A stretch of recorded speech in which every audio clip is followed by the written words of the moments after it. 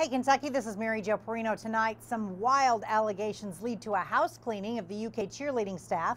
NASCAR and horse racing resume, and the state prepares for the next step of reopening. All that and more is next on Hey, Kentucky.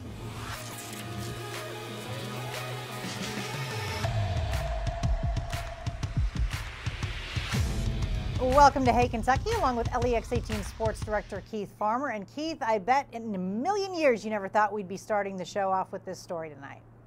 Not at all, but it's making headlines all across the country. It really is. So we begin with today's big news from the UK campus.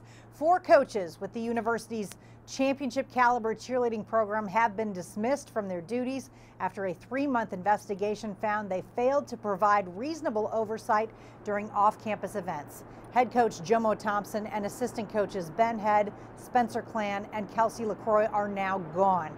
The university says the group did not take action after inappropriate conduct by members of the cheerleading squad took place at off campus events.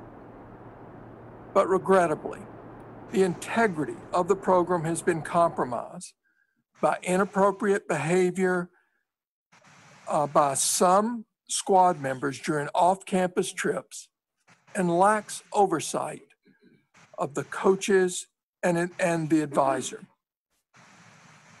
An extensive investigation found hazing activities, alcohol use, and public nudity by some members of the cheerleading squad during annual retreats and out of town trips. Some of the poor behavior may have been practiced and tolerated for some years. The investigation also found a lack of oversight and poor judgment by T. Lynn Williamson, who served as the cheerleading program's advisor for four decades. The investigation found no evidence of sexual assaults or misconduct, which is good news. But Keith, my goodness, this rocks the the national championship uh, caliber team. It's crazy. It blows your mind. 24 national championships. They finished six times as a runner up. So when you talk about this program, you talk about it being one in the mix year in and year out. You would think it would be at a high level all the way around, but obviously there was a lot of stuff going on that it appears a lot of people knew about. Yeah, and, and maybe for years, it's not just this this particular group. Some of this stuff they've found had been going on uh, really since Jomo was on the team himself.